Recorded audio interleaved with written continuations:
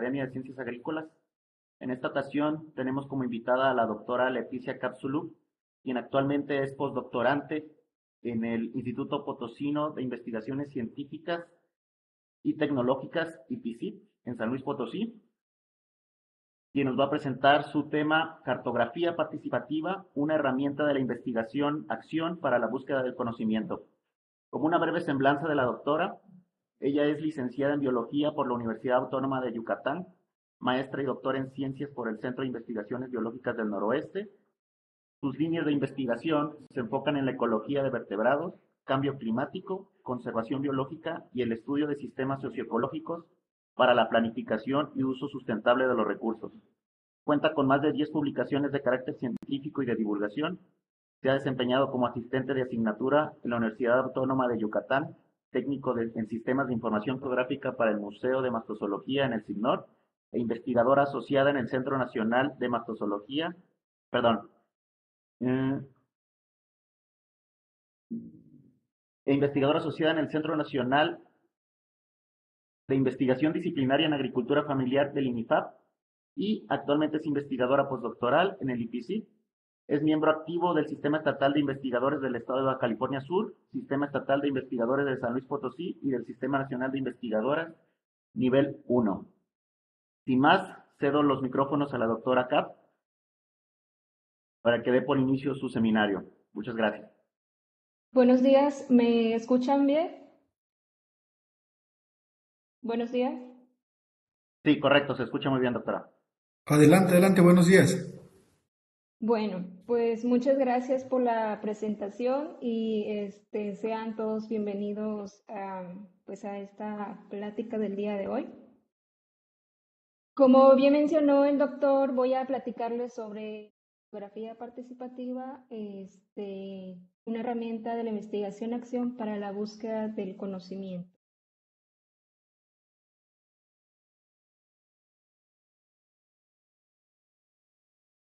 Este, en este tiempo, pues voy a platicarles sobre lo que, a qué se refiere eh, brevemente lo que la investigación acción participativa, eh, lo que es la cartografía participativa y voy a desarrollar eh, un ejemplo del uso de, estos, de esta herramienta.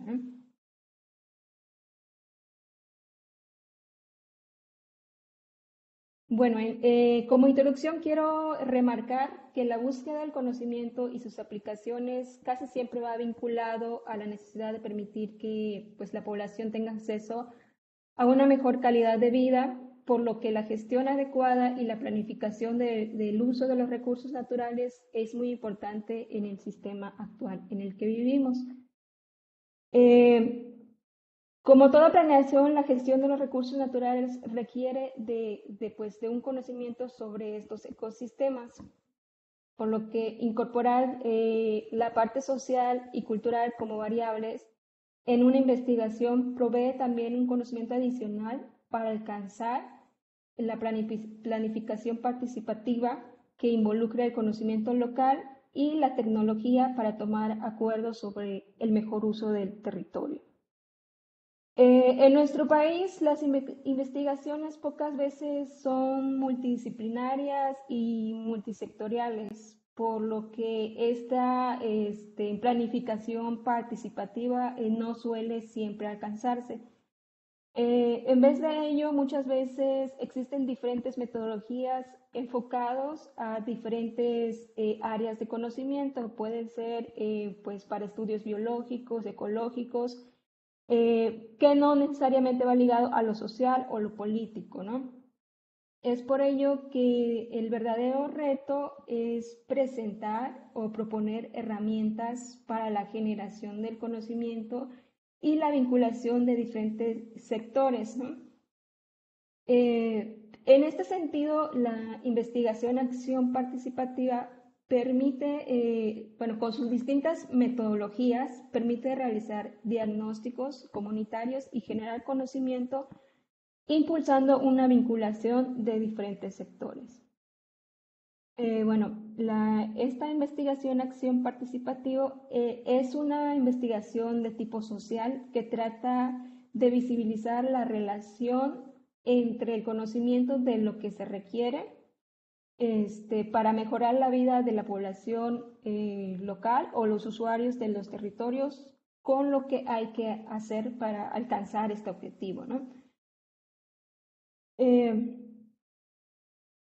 la, la, investigación acción participativa surge para, entonces, para otorgar a la población local el poder de asumir acciones eficaces hacia el mejoramiento de sus propias condiciones de vida. Eh, por ello que es, este, tiene como objetivo principal promover la generación de conocimiento y hacer un análisis colectivo para determinar las causas de los problemas y las vías de sus posibles soluciones. Eh, resaltando que la investigación, acción participativa, eh, la relación investigadora no es eh, de sujeto-objeto, como lo que se suele hacer eh, muchas veces en las investigaciones, que solemos ir a campo, a las comunidades, a tomar datos y nos regresamos en las oficinas o en los laboratorios, analizamos los datos y hasta ahí queda, ¿no? Sino la investigación acción participativa busca este, la relación de sujeto, eh, sujeto otorgándoles, digamos, a las comunidades eh, locales u osares de los territorios un, un cierto protagonismo para la investigación. Eh, entonces, bueno, también este tipo de investigación se suele ser considerada por lo mismo como un tipo de investigación aplicada, ya que es orientada a cambiar en sí una situación, eh, una situación problema. ¿no? Eh, bueno, en este tipo de investigación se pueden hacer uso de diferentes herramientas, desde, digamos, algo más sencillas como son eh, análisis eh, FODA, la creación de mapas mentales, hasta herramientas un poquito, un tanto más complejas como lo puede ser la cartografía participativa o la cartografía social, que es de lo que les voy a platicar un poquito más a fondo.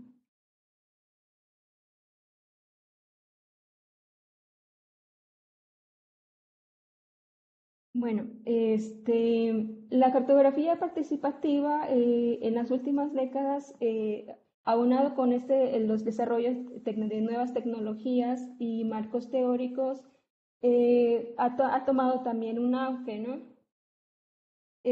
bueno, todas estas nuevas tecnologías han propiciado también nuevos paradigmas y la creación o surgimiento de, de este, metodologías para el estudio de nuestro medio. Eh, en este contexto, la geografía juega un papel importante porque, bueno, la geografía eh, y los sistemas de información geográfica eh, ofrecen, digamos, herramientas o información de gran alcance, tanto en la parte espacial como temporal, y pues hacer uso de este tipo de recursos en beneficio del desarrollo es posible porque la geografía es, digamos, crea un puente entre la parte de las ciencias naturales y las ciencias sociales, ¿no? Por ejemplo, eh, en esta imagen es un esquema eh, bastante descriptivo y claro, donde este, una realidad puede ser procesada en tipos este, de información que pueden ser analizadas a través de herramientas de sistemas de información geográfica. Bueno, en la parte eh, más conceptual de la cartografía participativa es que hace referencia a una conceptualización espacial de algún tema en específico y a la creación de mapas que reflejan las percepciones, los conocimientos de las personas o comunidades este, que ellos poseen sobre sus espacios, los paisajes o los territorios. Es decir, este, en otras palabras, es que busca trasladar el conocimiento local a un espacio geográfico que eh, permita observar y visualizar este, otras realidades espaciales. ¿no? Eh, en la práctica, la cartografía participativa eh, busca compartir también opiniones y resolver intereses relacionados con el uso del, territorio, estableciendo un espacio de debate y negociación para la puesta en marcha de acciones colectivas, por lo que los principales objetivos o algunos de los objetivos de la cartografía eh, participativa es, por un lado, valorizar el conocimiento, las percepciones y las necesidades de los locales en relación a los eh, recursos ligados a su identidad.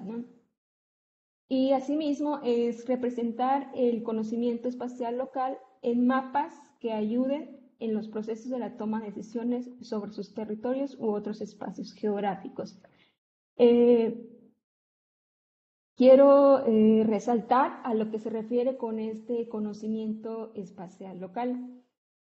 Eh, bueno, esto es básicamente refleja las situaciones y las capacidades materiales de las comunidades locales y representa también las, creencias y los valores eh, debido a que se basa en una experiencia acumulada sobre el, paisaje local. Y bueno, debido también a que los conocimientos locales no son estáticos ni en un tiempo ni un espacio, el conocimiento espacial local hace también ah, referencia a tratar de identificar y priorizar este, eh, información de, de importancia local inmediata. Por ello, se puede considerar este, que el objetivo de, este tipo de conocimiento espacial local es privilegiar los intereses y la voz de los locales y dueños del territorio por sobre los intereses del gobierno o cualquier este, nivel o, capital externo. Bueno, eh, en la parte más práctica de lo que, eh, que se requiere para este, el desarrollo de una cartografía participativa, eh, son necesarias tres fases principales. En la fase 1 se refiere a una etapa de planeación. En esta etapa de planeación, eh, bueno, es, una también de las tres son importantes, ¿no? Pero esta es, es como que sienta las bases, ¿no? Debido a que implica los primeros acercamientos a, digamos, a la aprobación, a las personas este, con quienes se va a vincular o trabajar, ¿no? Por lo cual es necesario eh, un diagnóstico en el contexto también o bueno, de ser necesario, eh, se sugiere eh, alguna capacitación en cuanto a las herramientas o metodologías que se piensen implementar. En la fase 2, que ya sería propiamente eh, la adquisición del conocimiento espacial local y puede ser a través del desarrollo de, eh, prácticas de cartografía participativa, como es el mapeo participativo. Eh, es importante señalar o aclarar que el mapeo participativo no es sinónimo de cartografía. El mapeo ya implica, digamos, la cuestión de dibujar este, puntos, líneas o polígonos en un mapa. Y la cartografía ya incluye más a fondo, este, digamos, la parte de planeación, el análisis de los resultados y, y este, los productos que se puedan obtener, ¿no? Ya engloba todas estas diferentes prácticas. Eh, bueno, en la etapa, bueno, entre las prácticas del inicio de la cartografía eh, participativa, eh, hay, digamos, varias etapas, ¿no? Eh, en la etapa 1 es que es el inicio, busca eh, el inicio de un mapeo participativo, es que se busca alentar este, la participación y evocar el conocimiento. Esto puede ser a través de diferentes técnicas como la elaboración de croquis o mapas eh, mentales, que, que, como podrán observar son técnicas, técnicas, digamos, un poco más sencillas, ¿no? Y intentando este, eh, una participación o unos conocimientos genuinos sin, eh, sin la influencia, digamos, de otro tipo de, de, de, mapas, ¿no? Y bueno, el inicio de estas o estos tipos de, de actividades dan pie a transferir la información de lo que se ha, ha creado a o a representar el, entorno en mapas ya, este, ya como cartas topográficas, fotografías aéreas o imágenes de satélite. Bueno, en la tercera, eh, digamos, subetapa, que es la eh, que es hacer recorridos en campo. Esta, esta etapa es sugerente debido a que permite verificar, confirmar y precisar eh, este, la información que se plasmó en los mapas de las imágenes de satélite. Incluso es, sugerente porque a veces este, estando en el territorio mismo puede eh, de ciertos eh, conocimientos surgir y se puede complementar pues la, parte del mapeo participativo. Y eh, la parte de la representatividad o la, eh, o la etapa 4 de la adquisición del conocimiento se refiere a complementar el conocimiento del mapeo con otras fuentes de datos. Esto, es, esto puede ser posible porque a veces este, los puntos o el conocimiento señalado este, pueden ser no, no homogéneos. Sin embargo, esto ya dependerá mucho de los objetivos que se han planteado y lo que pues, eh, se requiere. ¿no? Y por, eh, por, último, en la fase 3 de lo que es la cartografía participativa es, es el postprocesamiento de lo que se obtiene durante la adquisición del conocimiento y es que eh, pues busca una retroalimentación y la validación de este conocimiento eh, con los actores involucrados, ¿no? Eh, pues en esta fase también es, necesario eh, considerar la elaboración de productos finales de tal forma que sirvan a quienes participaron eh, pues en la generación misma de estos datos, ¿no? Asimismo puede haber una interacción o, o retroalimentación misma de tal modo, ay, perdón, que ellos mismos puedan hacer una propuesta de cómo utilizar estos, este conocimiento espacial que ya tienen. ¿no? no es este, de cierto modo imponer o dar lo que nosotros consideramos que les pueda servir, no, sino hay, eh, hay es sugerente que haya una interacción de ambos este, participantes. Eh, pues bueno, ahorita les voy a platicar un poquito más ah, sobre el ejemplo que actualmente eh, se está llevando a cabo como parte del, proyecto postdoctoral que desarrollo en el IPCID. Y pues es importante también, bueno, señalar o aclarar que este es un proceso eh, que no ha concluido, por lo que aquí les voy a presentar parte de, lo que, de los avances y asimismo algunos resultados que, se tienen. Eh, bueno, el proyecto pues está eh, vinculado o titulado Dinámicas socioambientales asociadas al Observatorio Participativo Socioecológico El Tokio. Y pues para ponerlos en contexto, primero quiero definir qué, a qué se refiere con Observatorio Participativo Socioecológico. Eh, bueno, este, eh, por una parte, el, lo socioecológico viene o hace referencia a, los sistemas socioecológicos que son sistemas eh, sociales asociados a su entorno. Y la parte de observatorio participativo alude a, un mecanismo de conformación de comunidades de aprendizaje o grupos multidisciplinarios para la generación de conocimiento sobre diversos temas. Eh, en los últimos años, recientemente, eh, la Red Internacional para la Sostenibilidad de las Zonas Áridas ha impulsado estos este, digamos, mecanismo novedoso para la cogeneración de conocimiento, específicamente o particularmente en las zonas áridas de nuestro país, México. Eh, principalmente eh, orientados a tratar temas vinculados con el cambio climático, sin embargo, este, hay otros eh, temas que pueden surgir, ¿no?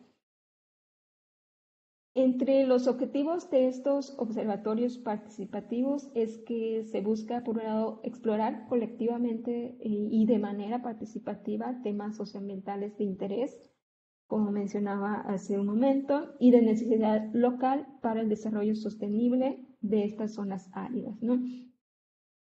Eh, asimismo, impulsa la investigación participativa para dar respuestas encaminadas a resolver problemas eh, más significativos de las comunidades que habitan las zonas áridas.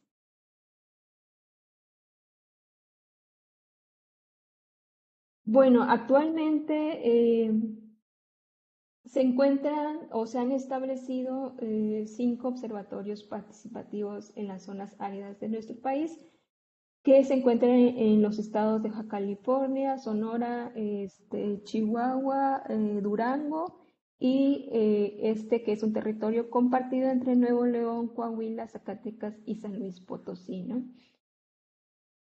Eh, cada observatorio participativo tiene diferentes este, temáticas, por mencionar algunos eh, ejemplos, por ejemplo, el Valle de, Observatorio Participativo del Valle de Guadalupe busca eh, la cogeneración de conocimiento desde, vinculando diferentes sectores, eh, desde la sociedad civil, el gobierno, la academia y el sector privado, este, para atender problemas de la región vinícola.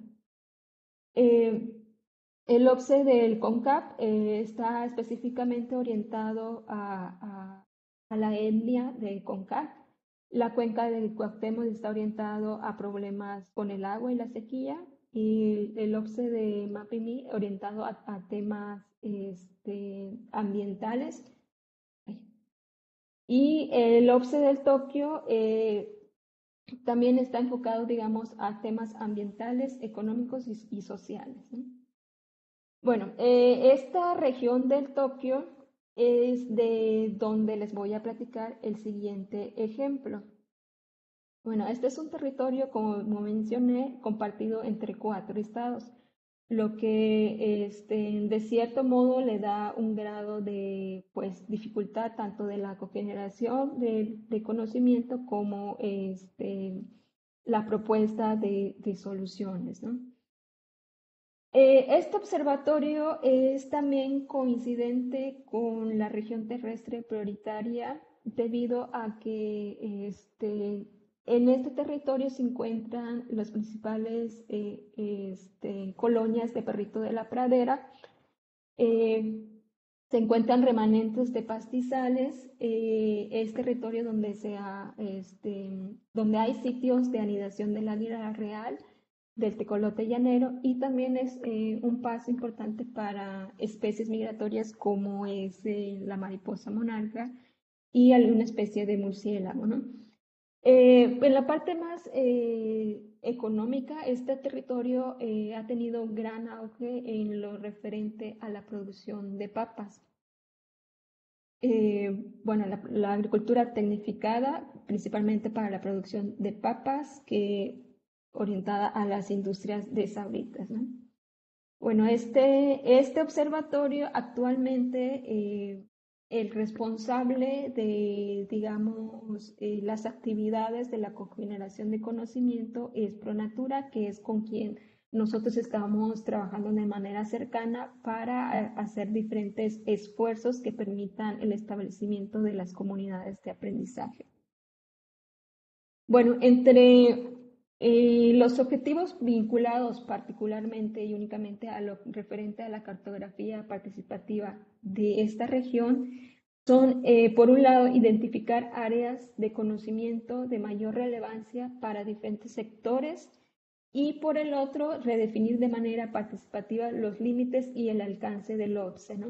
Esto, pues, como, bueno, el, segundo objetivo, como mencioné anteriormente, eh, Actualmente eh, está eh, coincidente al 100% con una región terrestre prioritaria. Sin embargo, esta región terrestre eh, únicamente se enfoca en la parte ambiental y lo que se requiere con la generación de conocimiento de manera participativa es que incluya otros sectores ¿no? y otras áreas de conocimiento. Y es por esto que se ha planteado la redefinición de los alcances y los límites de este territorio. Bueno, este, voy a proceder a describir eh, por cada fase de lo que se ha hecho en la cartografía participativa en esta región. En la fase 1, este, que es referente a la planeación, eh, en nuestro caso particular, primero se seleccionaron los sectores que de primera instancia iban a ser dirigidos este, esta cartografía. Es importante también aclarar que estos sectores elegidos, que son los locales, académicos, la parte gubernamental y no gubernamental, son, digamos, el, primera, este, el primer eh, público objetivo. Sin embargo, el sector privado, por mencionar a, alguno, no, no, no, lo estamos, digamos, haciendo a un lado, ¿no? Si hay este, interés, es totalmente este, es, totalmente pues bienvenidos a, integrarse al proyecto. Bueno, este, pues este territorio de la región de Tokio, como mencioné, está compartido entre cuatro estados, por lo que es un territorio bastante extenso y diverso, de tal forma que en él se encuentran más de 16 municipios y más de 800 ejidatarios, ¿no? O ejidos, ¿no? Entonces, eh, específicamente para el sector local, eh, una de las problemáticas que nos encontramos para la planeación es, es pues es imposible eh, meramente incluir a los 800 ejidatarios, lograr una participación de más de 800 ejidatarios, por lo que decidimos hacer una regionalización dentro de este territorio con variables sociales y ambientales, ¿no? Eh, una vez obtenida esta, esta regionalización, se, realizaron recorridos de acercamiento con el sector eh, local con el fin de pues, eh, iniciar esta vinculación del reconocimiento del territorio y reconocimiento de, de, los posibles participantes que se integren al proyecto. ¿no? Cabe señalar que en la parte de los sectores académicos, gubernamentales y no gubernamentales o de la sociedad civil, lo hemos hecho, digamos, haciendo uso de la tecnología, eh, pues a través básicamente de reuniones virtuales nos hemos estado estableciendo esta vinculación. Esto pues obviamente con el fin también de ahorrar eh, tanto esfuerzos como los recursos tanto este, económicos como humanos. Pues bueno, en la parte también de, la fase 1, que es importante aclarar este, para qué se va a hacer, hacia quiénes van dirigidos y qué se implementará, ¿no? En la parte del para qué eh, se planteó específicamente el objetivo de reconocer el conocimiento, la experiencia y la percepción del paisaje que tienen diferentes sectores. Y este, se definió como el perfil de los participantes a personas que, pues, pertenecientes a los sectores antes mencionados eh, de primera instancia.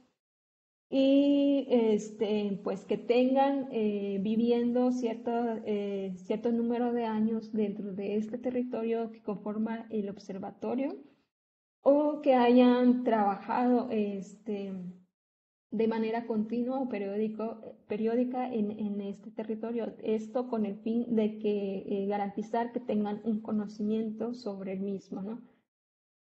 Y este, lo que se, se implementaría es, pues, actividades de mapeo participativo eh, enfocadas a la adquisición de conocimiento local eh, divididos en diferentes categorías de conocimiento, ¿no? De, que va desde lo económico, la parte ambiental, salud, social, cultural, etcétera, ¿no? Y una vez más, estas son como, digamos, categorías sugerentes, sin embargo, si algún participante tiene este, conocimiento o le parece importante algún sitio que no encaja en ninguna de estas categorías, es también este, eh, es libre de, de ponerlo y se incluirá de igual manera.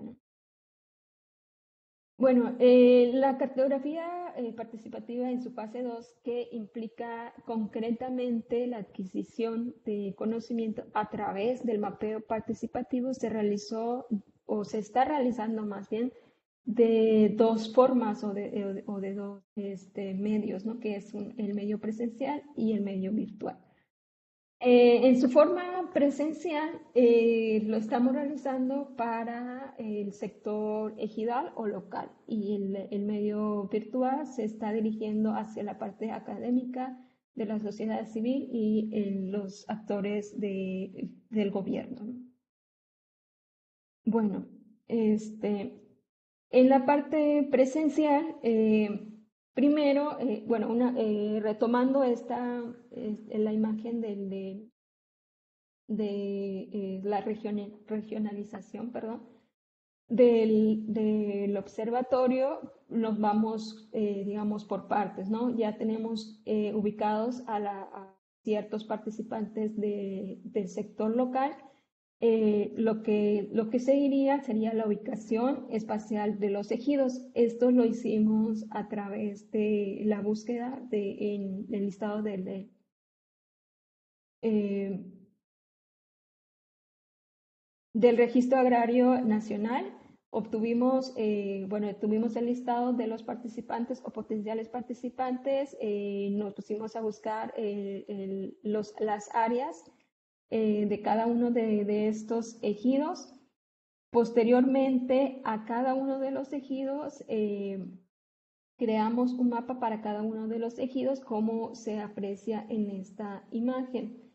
Eh, bueno, como podrán ver, son mapas sencillos, buscando poner la menor señalización. Esto para evitar, digamos, sesgos en el conocimiento, es decir, que si le ponemos alguna señalización eh, pueda, este, pues nada más poner eh, o señalar puntos, regiones o rutas que les parezcan eh, o, que, que, les parezcan importantes respecto a estas señalizaciones.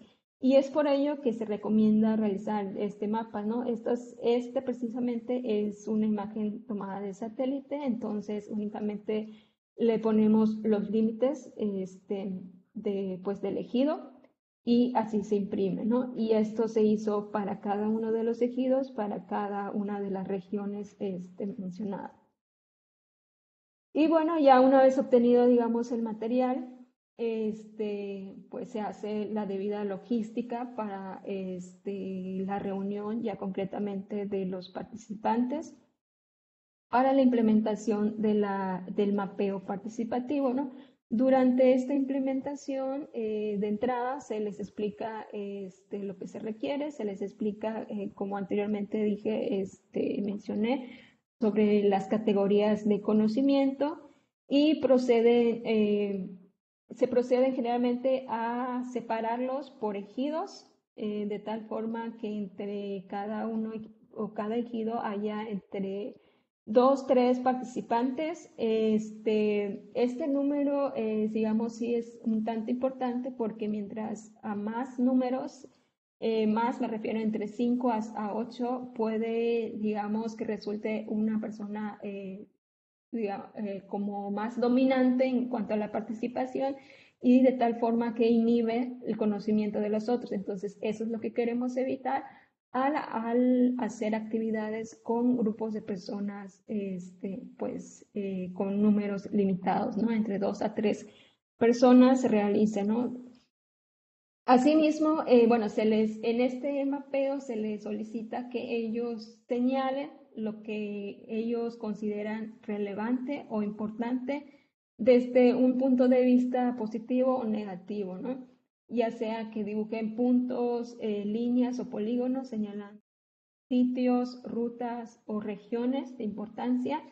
Asimismo, se le asigna este, pues, eh, eh, hojas para que pongan o puedan desarrollar un poquito más la información asociada a lo que ellos estén señalando pues, en el mapeo.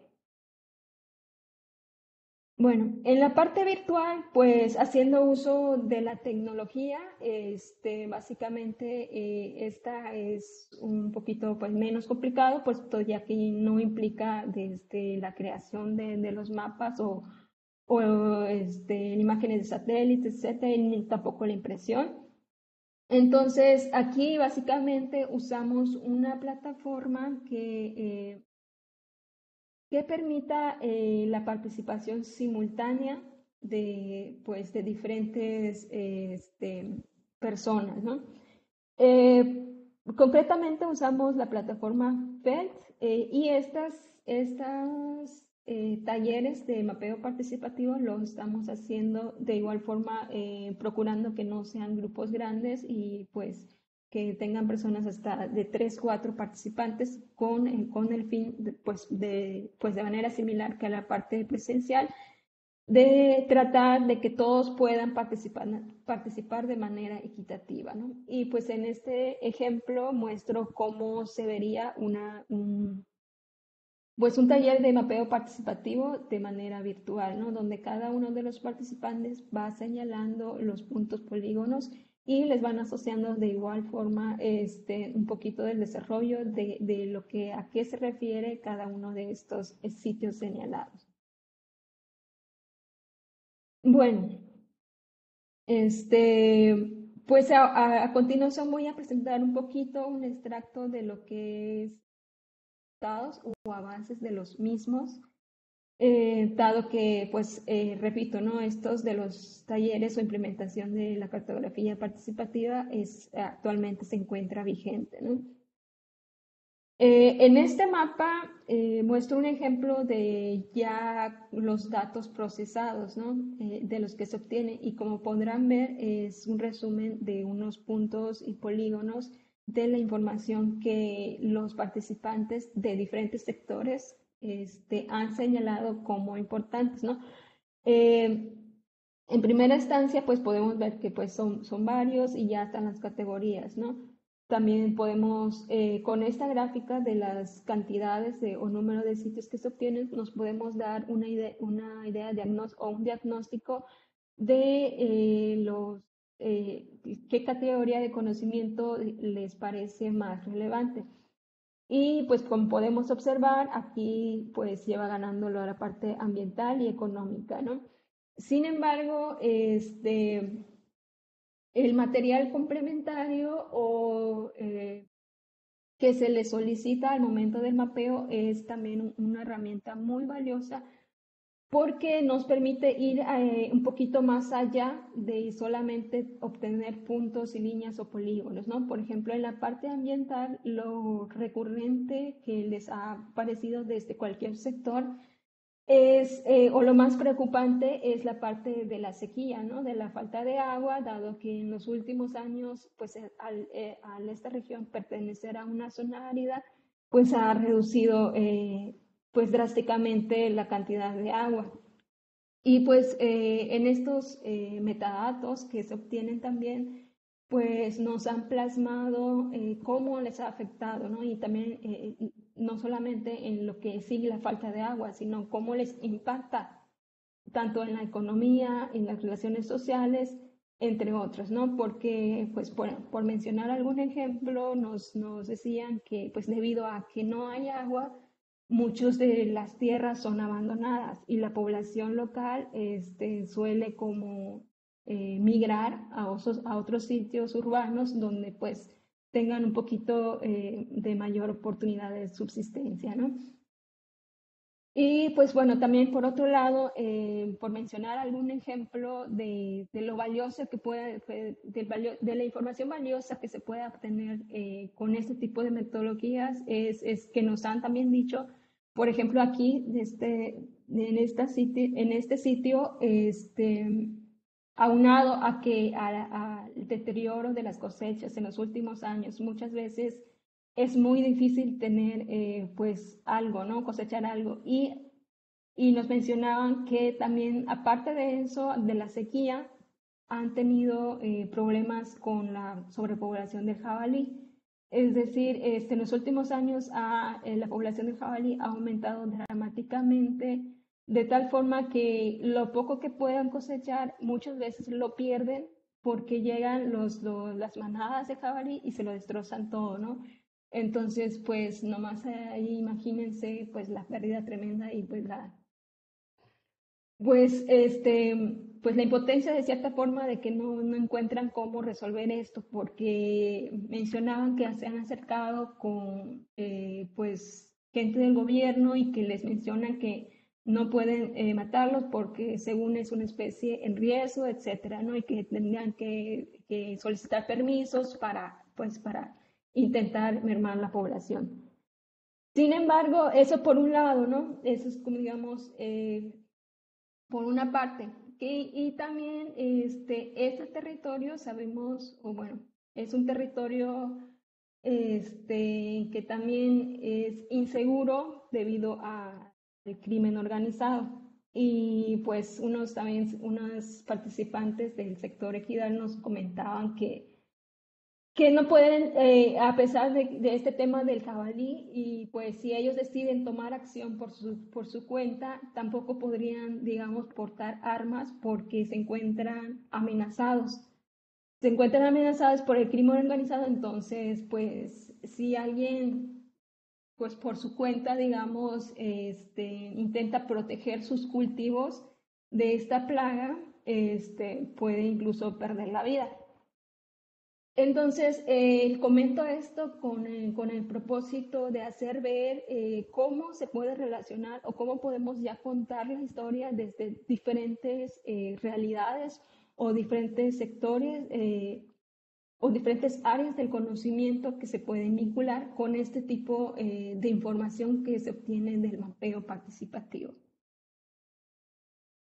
Y pues bueno, en la parte de la redefinición que eh, de límites o los alcances del, del, observatorio, este, con los puntos o, o, con la información de los sitios relevantes que se obtiene en cada uno de, de, los talleres eh, de cartografía eh, participativa. Estos son, em, se le asignan zonas de, de influencia y se, de tal forma que eh, se sobreponen todos para eh, obtener una sola región que pueda ser considerada como una propuesta que incluya este, información relevante de diferentes sectores y temáticas. Como podrán ver, este sería como un primer acercamiento de lo que vendría siendo pues, la nueva propuesta de un observatorio participativo socioecológico. Y pues para finalizar, quisiera este, eh, expresarles algunas de las experiencias que he tenido en este tiempo utilizando y trabajando con esta metodología, que es por un lado, eh, pues trabajar en combinación con otros sectores es difícil, este, a veces muy tardado. Este, no les quiero pues, poner que todo esto es muy fácil y muy, muy eh, rápido, porque pues al tener todos, eh, al, ser un grupo multidisciplinario, sectorial, eh, muchas veces tenemos la visión o la formación muy distinta. Entonces, a veces los acuerdos este, pues son difíciles, ¿no? Más, más bien son, es difícil tomar un acuerdo hacia lo que se va a hacer. Sin embargo, este, cuando se logra obtener resultados, creo que son muy valiosos, como, como lo que les platiqué, esta vinculación de los, desde un problema, cómo, cómo se resuelve, cómo se vincula con los sectores, y esto nos puede permitir, pues, proponer este, herramientas o soluciones que ataquen, que pues que sean atacados desde estos puntos de los que son, este, pues que están vinculados, ¿no? Y bueno, por otra parte es que muchas veces el conocimiento local no se refleja genuinamente en las capas espaciales que se encuentran disponibles en la web, por lo que estudios, este, por lo que los estudios pueden que no reflejen la realidad local. Y a esto me refiero que pues muchas veces hacemos, bueno, en, mi caso particular, en análisis biológicos ecológicos solemos usar qué imágenes de satélite, qué capas de uso del suelo del INEGI, qué, qué que capaz del clima, etcétera, ¿no? Sin embargo, estos, estas son, son, digamos, herramientas que representan un, cierto punto en el, en el, espacio o en el tiempo, ¿no? Son, son, son creados con base a información de cierto este, eh, periodo temporal, por lo que las necesidades locales pueden, pueden o no coincidir con estas, incluso pueden haber cambiado, ¿no? Entonces, este, hacer uso de este tipo de, herramientas como la cartografía participativa nos permite complementar eh, pues el recurso que tenemos disponibles eh, pues en la web. Y por último, es hacer parte de a los usuarios del territorio, eh, pues en cualquier investigación permite que los resultados que se obtengan sean potencialmente vinculados a corto plazo, ¿no? Y pues eh, en general la cartografía participativa este, puede, usar, puede ser usada desde, pues, casi para cualquier, este, cualquier investigación, ya sea una investigación biológica, este, social, este, de incluso de la agricultura. Es, digamos, no se limita a cierta este, área, ¿no? Y como conclusiones generales es que las investigaciones eh, académicas acompañadas de métodos como la cartografía participativa pueden generar espacios de encuentro, diálogo y discusión necesarios para construir nuevos conocimientos, perspectivas y formas de gestión. Eh, como segundo punto, este, es que las personas locales no son solamente objetos de estudio o informantes clave, sino son parte esencial en la construcción del conocimiento y creo que merecen ser incluidos en la toma de decisiones debido a que pues están directamente implicados y son los usuarios pues en sí del territorio. ¿no? Y por último, con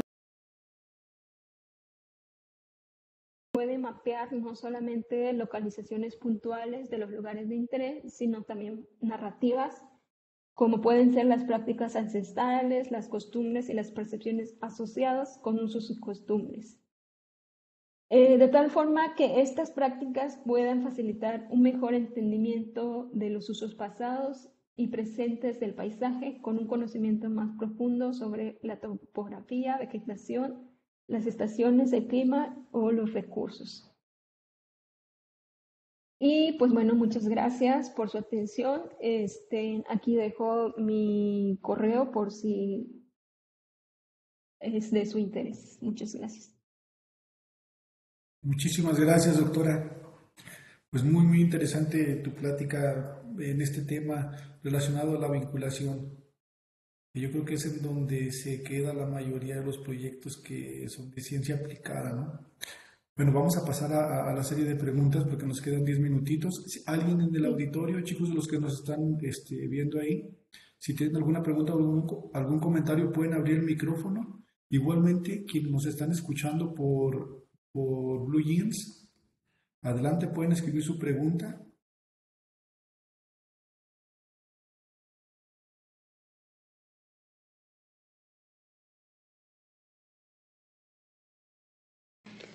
Sí, buenos días. Adelante, buenos días. ¿Qué tal? Eh, sí, aquí del auditorio Rodrigo Hernández. este, sí, eh, primero quiero felicitar a la doctora. Me pareció un tema muy interesante y pues las, sí, los sistemas de información geográfica pues son muy, muy este, flexibles, aplicables a muchas áreas. Y quería preguntarle una cosita porque no escuché bien. ¿Cuál fue la plataforma o, software que utilizaron para eh, que los participantes ubicaran sus, sus puntos de interés? Este, en la bueno, ¿me escucha? sí.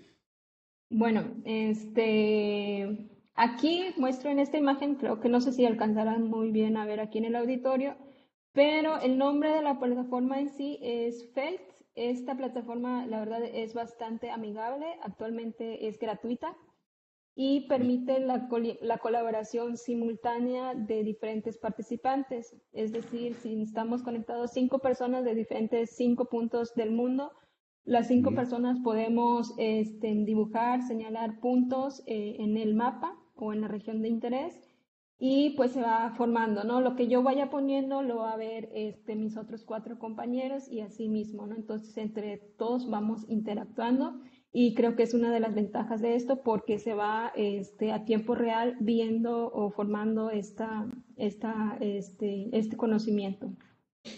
Y se llama FELT, si lo pueden explorar o lo pueden buscar, se llama FELT. Y también ah. es bastante amigable, es muy intuitivo no tiene, este, bueno, no, más bien para los que este, están un poquito más familiarizados con los sistemas de información geográfico, les va a parecer una, este, pues una herramienta muy, muy, de muy fácil eh, eh, de usar, ¿no? Y para los que no, también es muy intuitivo porque pues básicamente este, te sale una barrita donde te permite este, picarle y crear un, un, punto y ahí te, te, permite pues introducirle el nombre y ahí ponerle algún comentario que se requiera. Ok, y así como dice usted, eh, ¿solo permite la creación de eh, vectores o también algún, se puede realizar algún tipo de análisis o ya es necesario la utilización de alguna otra herramienta para eso? Sí, este, esta plataforma sí solo permite la creación de vectores. Incluso uno puede subir este, unos shapefiles, y bueno, los, eh, algunas eh, información adicional que tenga por su cuenta. esta, una vez Concluida, digamos, esta parte de la creación de los puntos, líneas y polígonos, te permite la exportación eh, en formato GeoJohnson, que este puede ser vinculado a cualquier sistema de información geográfica y ya ahí, de manera externa, ahora sí, poder hacer algunos análisis que se requieren. Pero si directamente en esta plataforma hasta ahorita no lo permite. Solamente permite la interacción eh, simultánea entre diferentes participantes para la, la, creación de vectores. Ok, bueno, este, sí, esas eran mis preguntas. Muchas gracias por las respuestas. Gracias este, a ti. Ok, por el momento sería todo. Gracias, gracias. Ya no hay nadie más aquí en el auditorio, ¿verdad? Que quiera preguntar. Muy bien, miren, aquí en el chat estoy viendo que hay una pregunta de Cristian Cornejo. Dice, el pecarí no se encuentra bajo ninguna categoría de protección en la norma oficial mexicana 059 y su pregunta es, ¿se podría hacer cartografía participativa para mapear la diversidad y usos de la agrobiodiversidad? Es una aproximación interesante. Gracias por la plática, Leti. Exactamente. La respuesta es sí.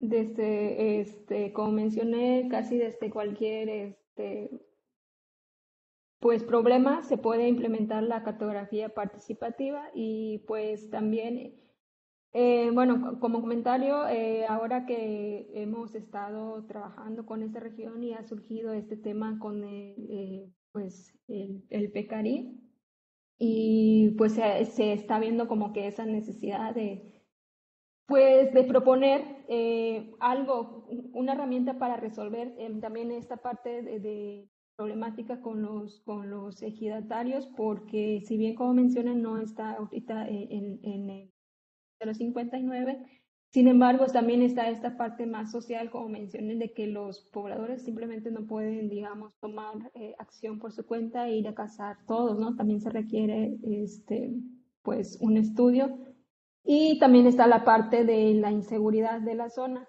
como bien mencionaban, este, ellos no pueden o tienen temor a portar armas porque pues básicamente hay una amenaza de, pues, del crimen organizado.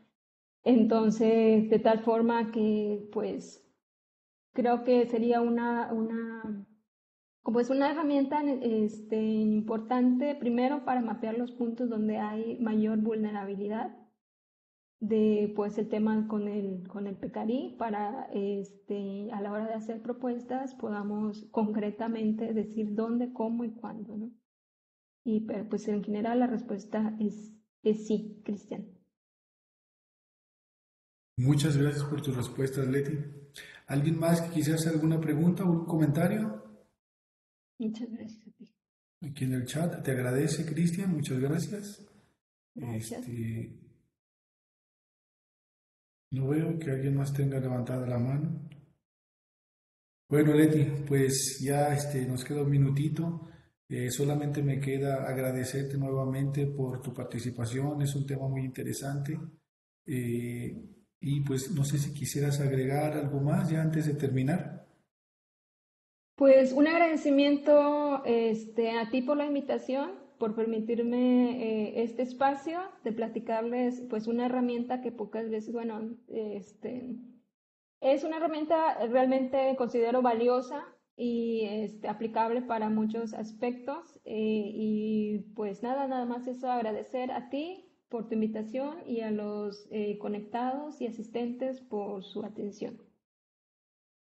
Muchísimas gracias, al contrario, Leti, gracias por haber aceptado. Yo creo que nos quedamos, este tipo de temas pues eh, son muy interesantes y además yo creo que abre la posibilidad de hacer algunas colaboraciones. Yo creo que te voy a, contactar ahí con un colega este, que también hace este tipo de, de, trabajos, a ver si, si se interesan, a ver si pueden hacer algo en común.